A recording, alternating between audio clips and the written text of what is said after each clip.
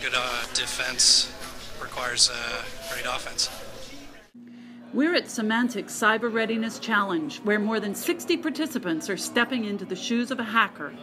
They have to learn to think like a hacker, to use the tools of a hacker. And they have to do this if they're going to learn how to guard against a hacker's attack. In today's challenge, they have one job to do. Discover an employee who has sensitive company information and shut them down so that they're not stealing any more valuable data. Mark is an employee who's gone AWOL. But before he left, he downloaded critical files. It's a race against time.